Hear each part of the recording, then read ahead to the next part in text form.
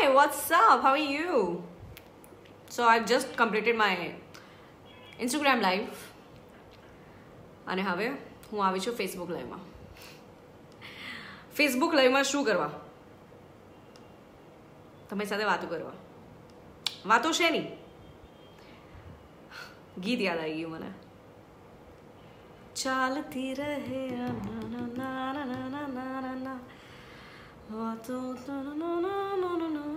ચાંદને કહો ફ્રોમ ચાલ જેવી લઈએ સચિન જીગરે કમ્પોઝ કર્યું છે બહુ જ અદ્ભુત છે સાંભળજો એ ગીત બાકી તો happy birthday to two states Gujarat and Maharashtra બાકીના લોકોને કયા દિવસથી મુબારક તો ભાઈ જિસકી ઓફિસ ચાલू थी उसको લેબર ડે મુબારક hello hi Manish hi Manoj hi Chakshu Patel hi everyone hi Manoj I am good hi Retul I am good and I think comments नहीं एक्चुअली तो वो ज़रूर है नहीं I thought let me just talk about the aunty the famous aunty actually I am not going to talk about aunty जैसे आपने video share किया, मैंने भी वीडियो शेयर किया। फिर मैंने वीडियो शेयर करने के बाद मम्मी को बताया। मैंने बोला, मम्मी, पता है, एक आंटी जी मिली। बहुत गलत सोच है उनकी। बोले अच्छा क्या हो गया? मैंने बोला, उन्होंने है ना, एक लड़की को ऐसे बोल दिया कि तुम्हारे जैसी जो छोटे कपड़े पहनती है ना, उनका तो रेप होना चाहिए। और इतना ही नहीं, किसी को बोला भी सही कि इसका रेप कर दो। तो बोले क्या बात कर रही है, बता। फिर मैंने पूरा वीडियो दिखाया। बोले, नहीं नहीं, मुझे वो देखना है जिसमें उसने रेस्टोरेंट में ऐसा बोला। बोला, वो नहीं है मम्मी मेरे पास। बोले अच्छा नहीं है तेरे पास? ना नहीं है। तो कितना वीडियो है? मैंने बोला पर लड़कियाँ गलत नहीं बोल सकती। प्रूफ होगा ही उनके पास। रेस्टोरेंट का फुटेज अगर हम मंगवाए ना तो पता चल ही जाएगा कि आंटी ने ज़रूर इससे घटिया कमेंट की होगी। बोले तो हाँ हाँ हो सकती है ना वो दिल्ली में बॉर्न एंड ब्रॉटअप नहीं होगी या स्मॉल टाउन से होगी होते हैं छोटे शहरों के लोगों की सोच छोटी होती है तो ऐसा बोल दिया होगा मैंने बोला पर मम्मी रेप की बात बोले नहीं ये तो बहुत गलत बात है पर ये जो लड़कियां है वो इतना चढ़ क्यों गई उस पर અને પછી મને વિચાર આવ્યો કે બોસ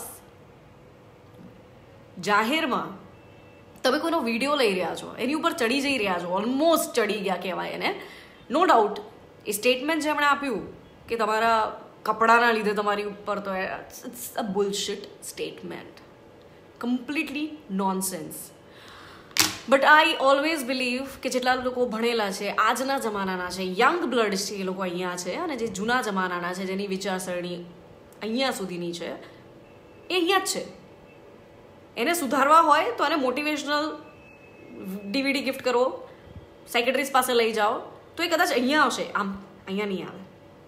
પણ ભાઈ, આના માટે તમે અહીંયા ક્યાં જાઓ છો યાર? ક્યાં? જગ્યા જ નથી. એટલું નીચે ઉતરવાની. સો પહેલાં મને લાગ્યું કે મારા જ આવા વિચારો છે. કારણ કે આપણે ગુજરાતથી છીએ સો આપણને ચાહે કોઈ આપણને કંઈ પણ ખરાબ કહી દે ને, આપણા સંસ્કાર એવા ખરા કે કદાચ આપણે કોઈને એ માણસ બહુ જ ઇરિટેટ થઈ જાય, ગુસ્સે થઈ જાય એ રીતે જાહેરમાં ઉતારી ના પાડીએ. that is what are culture is તો એ વિડીયો જ્યારે આખો જોયો ને તો મને પણ એવું લાગ્યું कि यार सऊदी अदर हाईलाइट तो आंटी ज था अब तो देखो आंटी इतने वायरल हो गए कि आंटी तो मतलब उनका तो पता नहीं जॉब रहेगा या नहीं रहेगा उनके हस्बैंड को भी लोग ने ढूंढ निकाला है उसके बेटे की तो वाट लगने वाली है भाई मतलब ये तो पर्सनल अटैक हो गया आंटी जी ने तो घटिया से घटिया कमेंट की लड़कों लड़कियों को मतलब वहाँ रेस्टोरेंट में बोलना ही नहीं चाहिए था वो उन्होंने बोल दिया जो हम सोच नहीं सकते वो उन्होंने बोल दिया वो भी गलत इंग्लिश में मतलब उनको सिर्फ इंग्लिश क्लासेस की ही ज़रूरत नहीं है उनको सेक्रेटरीज के पास जाने की ज़रूरत है वो हमें लग रहा है हम अपने ओपिनियन दे रहे हैं हर सोशल मीडिया प्लेटफॉर्म पे यही मुद्दा अभी मतलब छिड़ गया है हर जगह पे एक ही बात है પણ રિસન્ટલી એક રેપ પ્લસ મર્ડરની ઘટના થઈ છે મધુની સાથે justice for Madhu hashtag justice for Madhu કરીને સર્ચ કરજો મળશે તમને ચાલો એ તો વાયરલ ના થયું જે ખરેખરમાં કોઈનો જીવ લઈ ચૂક્યો છે. પણ એ વાયરલ થાય છે, જેનાથી કોઈનો જીવ જઈ શકે છે. સો જેટલા પણ લોકો છે, એમાંથી એક વ્યક્તિએ મને બહુ જ સરસ કમેન્ટ મેસેજ કરી છે. મારો ઓપિનિયન એવો છે, આખી ઘટના ઉપર, કે આંટીએ આવી રીતે વાત ના કરે. દુનિયાની કોઈ પણ સ્ત્રીએ આવી રીતે કોઈ પણ છોકરી સાથે વાત ના કરે. એટ ધ સેમ ટાઈમ આપણાથી કોઈ મોટું છે, ખબર છે, માનસિક બીમાર છે. માનસિક બીમારી જ કહેવાય ને, આ પ્રકારની વિચારસરણી. કે પછી ઓર્થોડોક્સ છે? તો આઈ થિંક એને યા તો સમજાવાય, યા તો ઇગ્નોર કરાય. હસી લેવાય. એની અભણતા ઉપર, એની મૂર્ખામી ઉપર હસી લેવાનું. એનાથી વિશેષ કંઈ ના કરવું જોઈએ. એક છોકરા મને ઇન્સ્ટાગ્રામ ઉપર લખ્યું જે હું એકચ્યુઅલી વિચારતી હતી. એનું નામ છે ઋષભ. ઋષભે મને લખ્યું કે, યાર, મેં છે ને આની ઉપર રિસર્ચ કર્યું, આ પોસ્ટની ઉપર, કલાકો સુધી મેં બધું વાંચ્યું આર્ટિકલ વાંચ્યા. જે લેડી છે પિક્ચરની અંદર આંટીજી એમને કોઈ છોકરીના કપડાં ના ગમ્યા, એ રેસ્ટોરન્ટમાં હતા દિલ્હીના, એમણે કંઈક કહ્યું એમને અને પછી આખી ઘટના ચાલુ થઈ. હવે આપણી પાસે એ ફૂટેજ નથી. હું એવું નથી કહી રહી કે છોકરીઓ ખોટી છે, પણ એ ફૂટેજ હજી સુધી નથી આપર આપણને નથી ખબર કે શું કહ્યું એમણે. કયા સ્ટેટમેન્ટથી એ એ બધી છોકરીઓ ભેગી થઈને આ વીડિયો બનાવી રહી હતી આપણને નથી ખબર. છોકરીઓને ફ્રીડમ છે, જે પહેરવું હોય, ના પહેરવું હોય એવું એણે નથી લખ્યું. જે પહેરવું એ પહેરી શકે છે. તમે જેટલી પણ છોકરીઓને ફોલો કરતા હશો, જરૂરી નથી કે એ દર વખતે ટૂંકા કપડામાં જ હોય ક્લીવ દેખાતી હોય એવા પ્રકારના કપડાં પહેરે. If you look at my Instagram profile you will not find thirty pictures જેમાં કદાચ શોર્ટ્સ પહેરી હશે મેં. But that doesn't mean that I don't wear it I do હું યુએસએ જાઉં, ગોવા જાઉં, મારે જે પહેરવું એ પહેરું. પણ આ આખા કિસ્સા ઉપર છે ને મેં સદગુરુજીનો એક વીડિયો મૂક્યો છે. કારણ કે મારા વિચારો થોડા ઘણા એમની સાથે મેચ થાય છે. જેમ એમણે કહ્યું છે કે દરેક જગ્યાનું એક કલ્ચર છે. બની શકે આંટીના મગજમાં કલ્ચરની કંઈક અલગ ઇમેજ હોય અને એમણે એક ત્રીજા જ પ્રકારનું સ્ટેટમેન્ટ આપ્યું. પણ I think rather than discussing that aunty and this incident we should discuss કે આ પ્રકારની મેન્ટાલિટી ના હોવી જોઈએ and at the same time એને વાયરલ કરવા કરતાં એ વિચારો વાયરલ કરો ને ભાઈ, જેની જરૂર છે આ સમાજને. દેટ્સ વોટ આઈ થિંક મને એવું લાગે છે કે કલ્ચરના પ્રમાણે કદાચ કોઈ કંઈક બોલી જાય, ખરાબ રીતે પણ બોલી જાય, તો being a well educated girl it's your responsibility કે તમે એને સમજાવવાની એકવાર કોશિશ કરો. ના સમજે, તો બે વાર કરો યા ડીવીડી ગિફ્ટ કરો. બટ એને, એનું આ હદે ઇન્સલ્ટ જે આપણે કરી રહ્યા છીએ સમાજ, આપણે એટલે because I have also share that video અને it is still there on my Facebook page and am not going to remove it because at the same time I am angry કે એક સ્ત્રી થઈને એક છોકરીને આ પ્રકારની કમેન્ટ કેવી રીતે આવી શકે? એ આખા વિડીયોમાં કોઈ લોજિકલ રીતે, સારી રીતે, પૂરા સંસ્કારની સાથે વાત કરતું અને તે મધર છે બ્લેક ડ્રેસની અંદર. આઈ થિંક એણે પોતાના પોઈન્ટ બહુ વેલિડ રીતે કહ્યા છે. The girl in a black dress whatever she has said a hundred and ten percent word to word બહુ જ મિનિંગફુલ હતું. ક્યાંય બકવાસ નથી ક્યાંય એરોગન્સી નહીં કશું જ નહીં ક્યાંય તમને એમ ના લાગે કે because I am young and you know I am more powerful than you so I am just speaking like that and using my accentual English just to defame you અરે ભાઈ કદાચ આંટી નહીં આવડતી હોય ઇંગ્લિશ એમાં કદાચ એ ચૂપ હોય વિડીયોમાં યુ નેવર નો બટ એ ક્વેશ્ચન એ નથી સો આગળ એ ભાઈ લખે છે કે છોકરીઓની ફ્રીડમ છે જે પહેરવું એ પહેરે જે બતાવવું એ બતાવે સીસીટીવી ફૂટેજ આવે એટલે ખબર પડશે કે કેટલી હદ સુધી આંટીએ ખરાબ રીતે વાત કરી હતી. પણ એ બધી છોકરીઓએ જે રીતે આંટી સાથે વાત કરી, એ પણ અનએક્સેપ્ટેબલ છે. સામે એમણે લખ્યું છે કે આ શું એમણે પબ્લિસિટી માટે કર્યું અટેન્શન માટે કર્યું, કે પછી માત્ર ને માત્ર એ આંટીને શરમજનક સ્થિતિમાં મૂકવા માટે કર્યું. કારણ કે જો ખાલી જસ્ટિસ જ જોઈતું હોય, તો ઇમેજ બ્લર કરી શકતા હતા. પણ તમે કોઈની પ્રાઇવસી ભંગ કરી. તમે એમનો વીડિયો લીધો, માર્કેટમાં સીધો મૂકી દીધો. હજી એણે એણે ઉશ્કેરીજનક ટિપ્પણી કરી છે, કાર્ય નથી કર્યું. અહીંયા તો કાર્ય થઈ જાય ને, તો બી ગુનેગારની ઇમેજને બ્લર કરવામાં આવે છે. તો કદાચ યંગ બ્લડ જો અત્યારે મને જોઈ રહી હોય, તો એને આ એટલે હું વાંચીને સંભળાવું છું, જેથી તમને ખબર પડે કે એકચ્યુઅલી કાયદાકીય રીતે પણ તમે કોઈની પ્રાઇવેટ ઇન્ફોર્મેશન આટલી પબ્લિક ના કરી શકો. એ ભાઈના રિસર્ચ પ્રમાણે તો એ આંટીજીએ અપોલોજાઇઝ કર્યું છે, એવું કહેવાય છે પ્રેશરમાં આવીને. પણ હવે તો બેથી ત્રણ કરોડ લોકો પાસે તો એમને વીડિયો જતો રહ્યો છે I am pretty much sure પણ શું થયું હોત જો એ આંટીએ સુસાઇડ કમિટ કર્યું હોત? આ છોકરીઓ એના માટે રિસ્પોન્સિબલ થઈ જાત. જ્યારે તમે કોઈની ભયંકર રીતે બેન્ડ બજાવો, ઘર ઘરમાં બેન્ડ બજાવો ચાલે, કોઈ મારી બેન્ડ બજાવે હું પણ એની બેન્ડ બજાવું છું બેન્ડ બાજા બહાર લઈને આખી જાન નીકાળવી not acceptable. Maybe because we are from Gujarat, our culture is different. We don't talk to any aunties like that.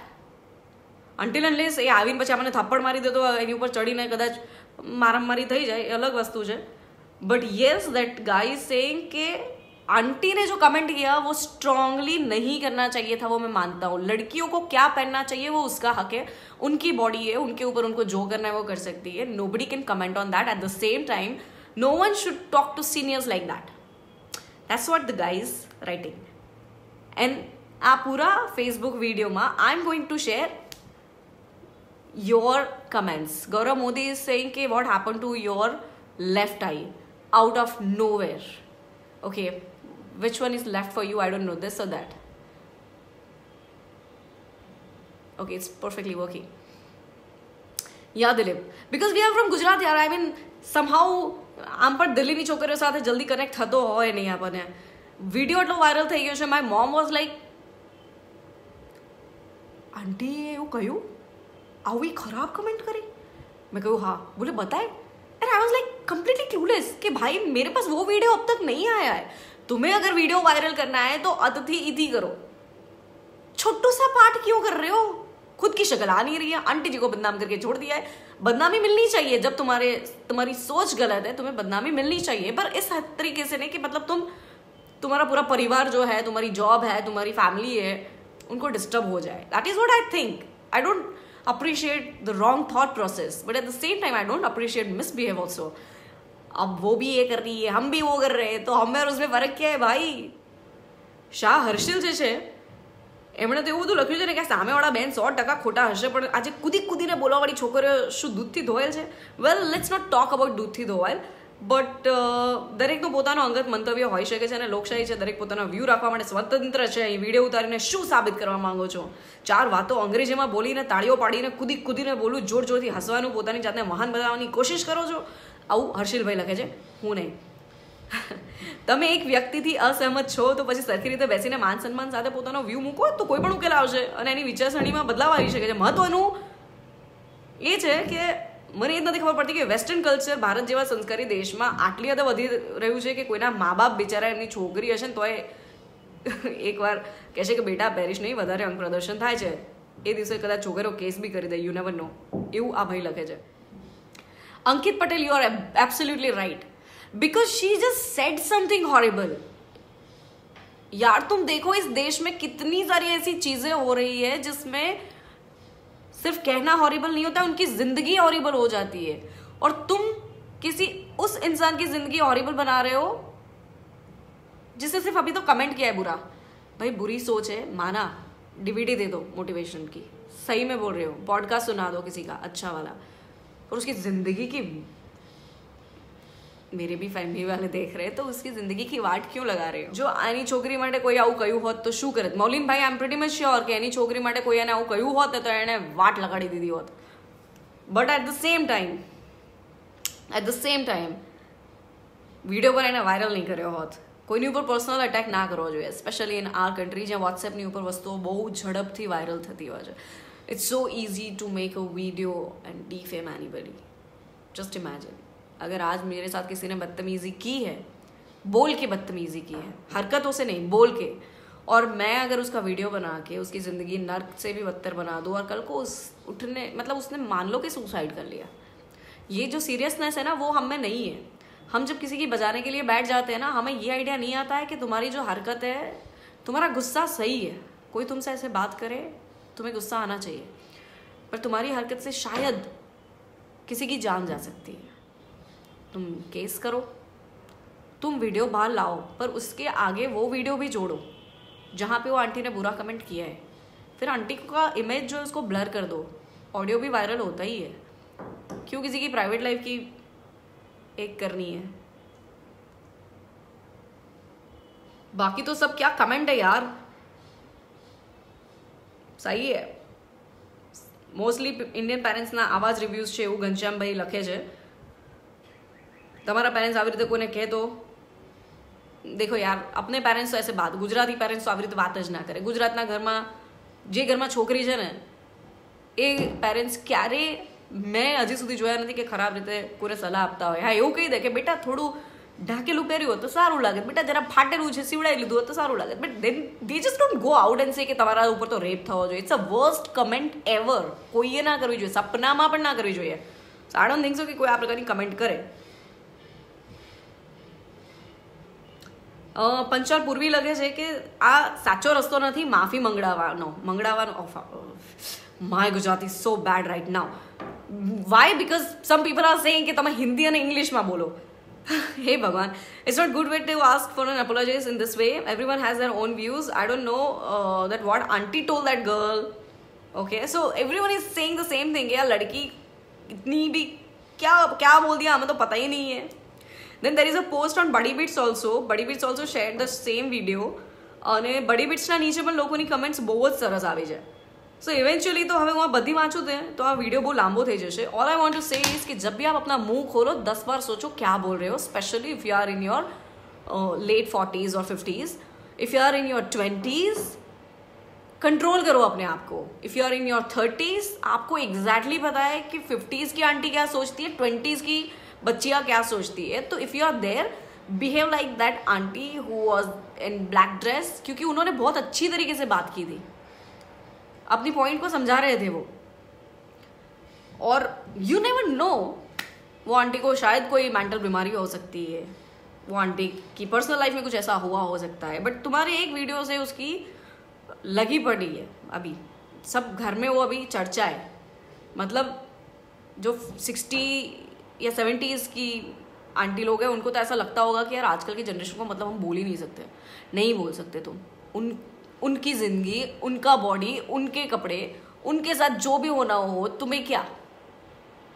But at the same time there are girls जिनको वो समझ है कि हमारा कल्चर ये है, हमें ये पहनना चाहिए, हमें ये करना चाहिए, और फ्रीडम ऑफ़ एक्सप्रेशन की जब बात होती है तो देन देर इज़ अ तरीका।